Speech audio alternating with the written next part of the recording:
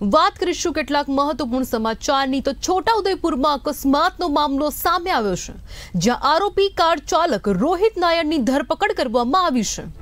રોહિત પાસે લાયસન્સ ના હોવાનું પણ સામે આવ્યું છે. સ્પીડમાં કાર ચલાવતા રાહદારી યુવાને લીધો હતો અડફેટે, જ્યાં અકસ્માત બાદ રોહિતે જ યુવાનને દવાખાને પહોંચાડ્યો છે.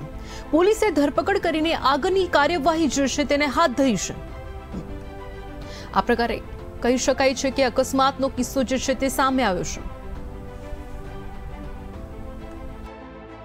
બે હજાર ત્રેવીસ ના સવારના સવા અગિયાર વાગ્યે એક ફોર વ્હીલ ગાડીએ રસ્તે ચાલીને જતા હર્ષદભાઈ નામના વ્યક્તિને અડફેટે લેતા જે અંગેની ફરિયાદ આ ભોગ બનનાર હર્ષદભાઈના બનેવી અશોકભાઈએ છોટા ઉદેપુર પોલીસ સ્ટેશનમાં બપોરના સવા બે વાગ્યે કરતા આ કામની તપાસ હેડ કોન્સ્ટેબલ કનુભાઈ ચલાવે છે.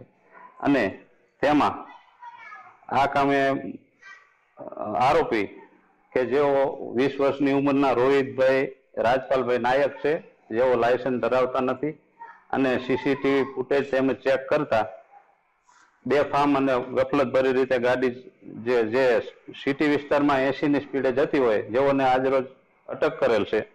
અને તેઓની પૂછપરછ કરતા આ એક્સિડન્ટ થયા બાદ પોતે જ તે પોતાની ગાડીમાં છોટાઉદેપુર સિવિલ હોસ્પિટલમાં લઈ ગયેલ. જ્યાં સારવાર કરાવી તેમના સગાવાલા હાલ વડોદરા દાખલ કરેલ છે. અને ભોગ બનનાર હર્ષદભાઈ ગોકુળભાઈ મારવાડીની સારવાર વડોદરા ખાતે ચાલુ છે. આરોપીને તપાસના કામે પોલીસ સ્ટેશન રાખેલ છે અને આગળની તપાસ અમોએ સંભાળી લીધેલ છે. શું શું કારણો લગાવી છે?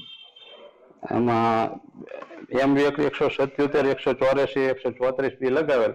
જેમાં આરોપી પાસે લાયસન્સ ન હોય, જેથી લાયસન્સ વગર ગાડી ચલાવવા બાબતે કલમ ઉમેરવા રિપોર્ટ કરેલ છે.